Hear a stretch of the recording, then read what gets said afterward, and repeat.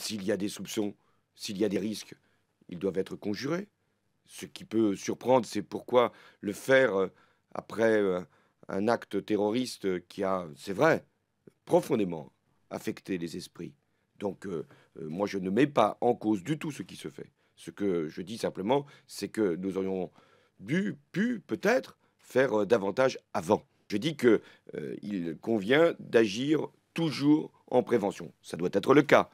Et ce qui pouvait être fait euh, il y a encore euh, quelques mois euh, aurait dû sans doute être fait. Nous verrons bien à travers des enquêtes qui seront menées le moment venu.